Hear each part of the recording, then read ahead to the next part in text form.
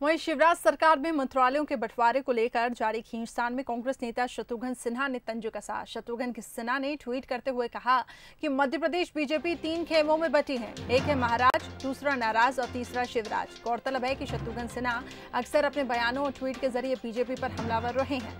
मध्य प्रदेश में मंत्रालयों के बंटवारे में भी हो रही देरी पर उन्होंने अपनी चेर परिचित अंदाज में देखिए कटाक्ष किया है कि मध्य प्रदेश में बीजेपी तीन खेमों में बढ़ गई है। महाराज, नाराज़ और शिवराज।